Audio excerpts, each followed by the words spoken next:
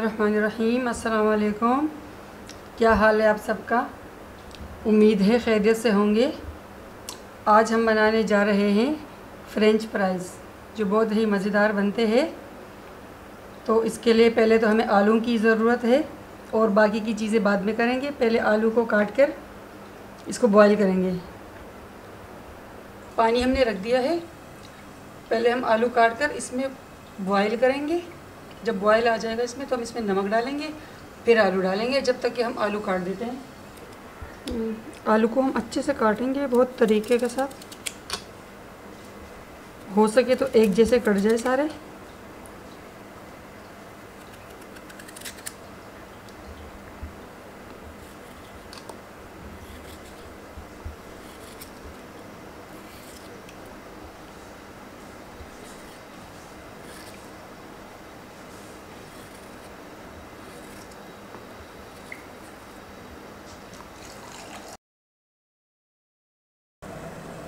हम पानी में आधा चम्मच नमक डाल देंगे।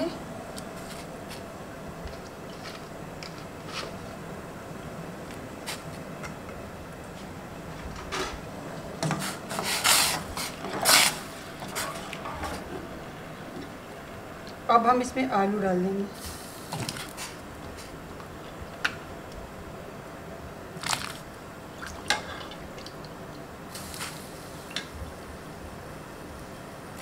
जब तक ये अच्छे से पक जाए।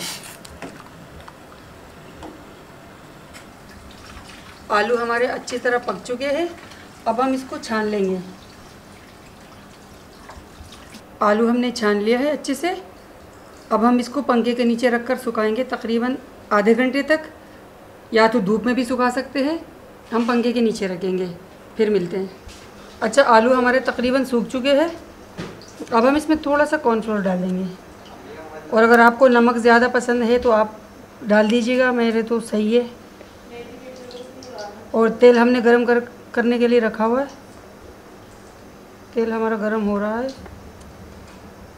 और हम इसमें कुछ भी नहीं डालेंगे कॉर्नफ्लोर डालेंगे।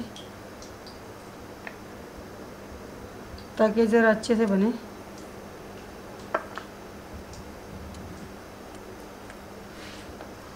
गरम हो गया है। अब हम इसमें थोड़ा थोड़ा करके डाल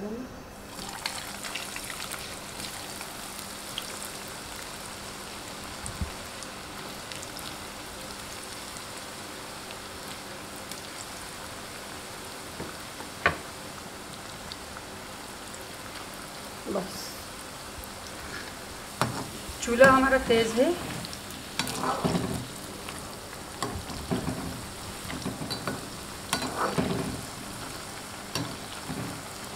बहुत मज़े मज़े की खुशबू आ रही है। और अगर आपने अभी तक हमारा चैनल सब्सक्राइब नहीं किया तो कर लीजिए, लाइक भी कीजिए और अपने दोस्तों के साथ शेयर भी कीजिए। और मज़े मज़े के चिप्स भी खाते जाएँ।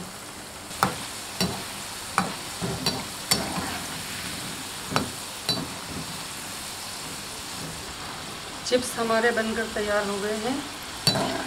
अब हम इसको निकाल लेंगे।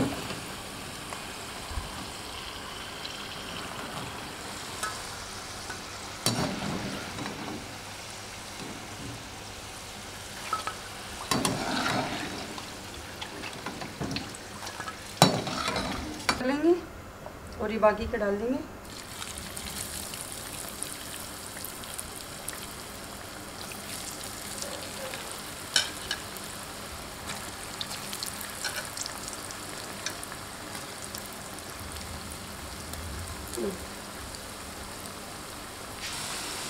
चिप्स हमारे मज़े मज़े के बन रहे हैं। अभी थोड़ा सा और फ्राई करेंगे, फिर इसको निकालेंगे। चिप्स तैयार हो गए हैं तो अब हम इसको निकालते हैं। चूल्हा इस पर करेंगे।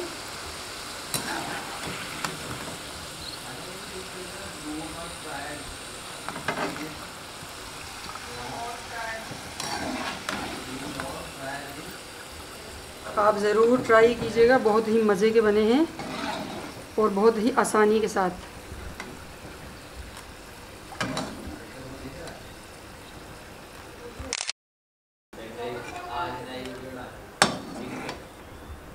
ये देखिए, बहुत ही क्रिस्पी और मज़े के चिप्स बने हुए हैं। खाइएगा ज़रूर।